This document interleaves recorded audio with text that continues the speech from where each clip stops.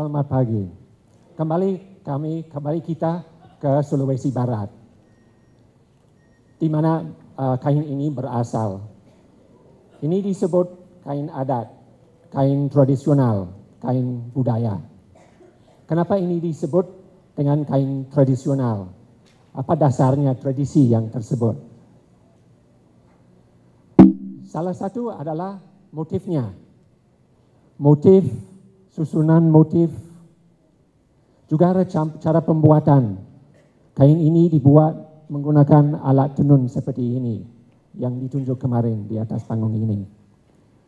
Dan juga ini dibuat pakai warna alam dengan tumbuhan yang dicari oleh si penenun di kebunnya di hutan di sekitar rumahnya. Dan menggunakan resip yang turun menurun dari nenek moyang sampai dia sendiri. Semua ini turun menurun. Dari satu sisi ini memang namanya tradisi. Tapi juga ada sisi tersembunyi yang terletak pada kain ini. Yaitu kearifan lokal, pengetahuan, cita-cita, serta makna yang diungkapkan lewat kegunaan kain ini. Misalnya, motif dari kain ini namanya ulu karwa. Ulu karwa berarti 80 kepala. Kepala-kepala ini adalah yang diperlu dalam masyarakat demi kesejahteraan masyarakat.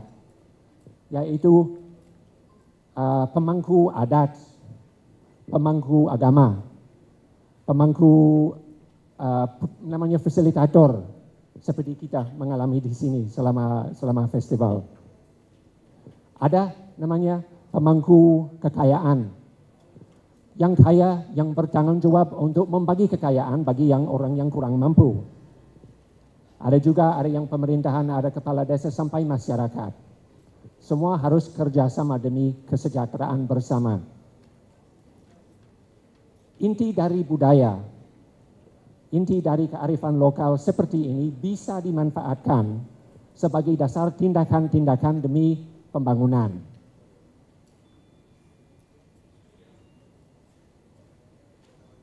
Ibu Augustina adalah kepala kelompok dari mana asal kain yang dilihat tadi. Pada tahun yang lalu, Ibu Augustina ikut sebagai peserta dalam lokakarya yang diadakan di Bali bersama 40 penenun dari uh, 40 dari tujuh pulau.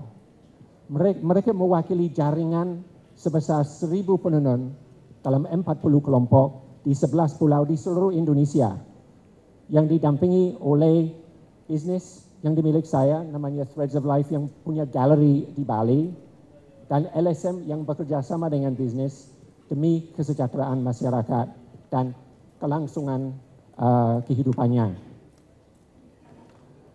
Dalam lokakarya ini yang dibahas terutama adalah pemasaran ini selalu menjadi sesuatu yang hangat kalau kita bicara sama penenun. Dalam dalam keadaan ini kita minta peserta tolong kelompokkan dan membandingkan tujuan utama dari kelompok-kelompoknya dan galeri yang menjadi pembeli utama dari Anda. Hal seperti ini memang sering dilakukan sama sama penenun dan mereka cukup bangka, gampang untuk mengatakan yang ya, yang tersebut. Dan itu semua bisa dikelompokkan di bawah tiga judul. Yang pertama, harapannya mereka adalah bisnis yang berlanjut yang membuat uh, pemasukan bagi rumah tangga demi kesejahteraan, bisnis bersama. Yang kedua ada kelanjutan budaya dan kekuatan identitas yang ketiga adalah pelestarian lingkungan. Biar bahan baku yang dimanfaatkan untuk buat kain tetap ada.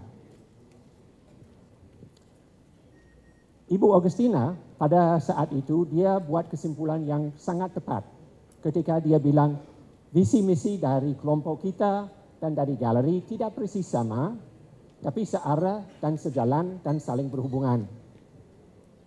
Lalu saya kira ini kesempatan bagus sekali untuk membahas pemasaran memang seperti semestinya.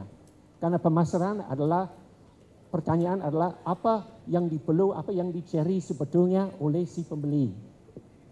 So lalu mereka diminta tolong membandingkan tujuan utama dari galeri dibandingkan dengan tujuan utama dari si pembeli. Ini dan ini searah dan sejalan dan saling berhubungan. Bagaimana kira-kira? Akhirnya dengan pembeli yang datang terutama dari luar negeri pada galeri. Ini menyebabkan diskusi yang cukup panjang. Mereka belum pikir sejauh ini. Kesimpulannya adalah mereka pikir satu-satunya alasan pembeli datang mengambil kain ini adalah karena kasihan pada mereka. Ini jauh sekali dari kenyataan. Kain ini dibeli karena indahnya. Kain ini dibeli karena nilai budaya yang berada di dalamnya. Bukan kemiskinannya yang terjual. Tetapi saya bisa maklum kenapa penenun-penenun ada ide ini. Karena pengalamannya mereka dengan pihak luar hanya ada satu, mereka dibantu dibantu, dibantu sampai akhirnya mereka pikir tidak bisa hidup tanpa bantuan. PD-nya sangat rendah sekali.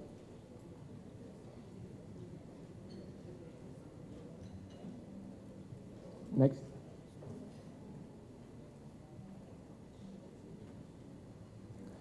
Mama Rosa adalah satu penenun dari timur. Ketika saya pertama sempat bertemu sama dia, seperti banyak penenun kalau pertama dikunjungi yang yang pemahati budaya. Dia mengatakan seperti ini. Karena saya mau mempertahankan budaya dan identitas saya, saya sering dikatakan orang terbelakang dan primitif. Saya diharuskan untuk memilih di antara identitas dan budaya dan kemajuan. Harus pilih di antara tradisi dan menjadi orang yang ikut negara yang modern dan berpartisipasi pada ekonomi dunia. Mengapa saya harus memilih? Saya tidak mau memilih. Saya mau biar biar saya bisa memperoleh nafkah sambil uh, melanjutkan budaya dan kepribadian. Memang ini menjadi kita lihat bahwa ada dua kendala. Satu adalah rakyat kurang dalam PD-nya. Satu adalah pihak luar kurang percaya sama masyarakat. Jalan keluar untuk pertama adalah membangkitkan budaya. Itulah identitas, itulah kepercaya diri dari dari kita semua.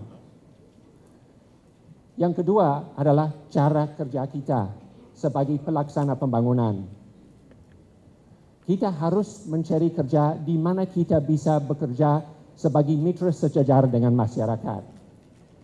Contohnya dalam dalam kegiatan uh, lembaga lembaga uh, dengan dengan penenun mereka menjual kain pada kami. Kami menjual kain ulang. Berarti sama-sama kita membahas cara untuk menjual kain. Mereka adalah pencelup yang pintar sekali. Berarti staf lapangan harus juga menjadi pencelup pintar. Biar bisa sama-sama membahas kendala yang dialami sebagai pencelup. Sama juga dengan petani yang membudidayakan tumbuhan pewarna. Mama Katerina adalah seorang penenun dari Flores jika saya membeli kain dari dia, dia dia dinilai oleh masyarakat di sekitarnya sebagai orang yang mampu membuat kain yang berisi karisma yang dipakai dalam upacara pembangunan rumah adat.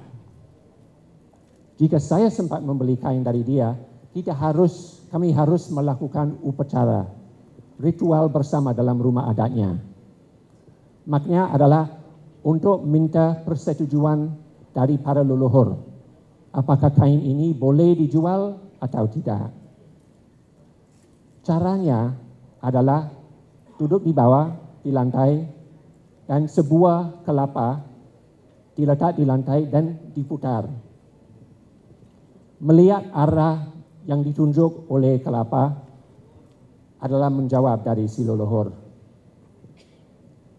Kain ini boleh dijual atau tidak. Nah, saya sering menyaksikan upacara ini dan ke mana arahnya kelapa berhenti itu selalu diartikan kain boleh dijual.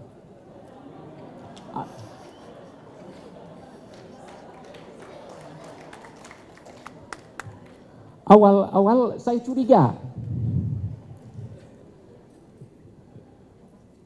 Tetapi saya akhirnya kalau saya lihat saya coba pikir apa di balik upacara ini saya mulai mengerti. Bagi Mama Katerina ini karena dia perlu minta pertunjukan dari para leluhur. Dalam kata lain, kita mengakui bahwa kita ditugaskan sebagai pewaris dan penerus dalam keberadaan kelangsungan budaya. Tanggung jawab ini memang adalah kesempatan bagi kita semua jika saya sebagai orang dari luar negara ini, dari Eropa, dari jauh sekali, bisa merasakan nilai luhur dalam kain, dalam budaya adat berada di Indonesia. Dan saya bisa termotivasi dan didorong oleh inti dari budaya ini. Apalagi Anda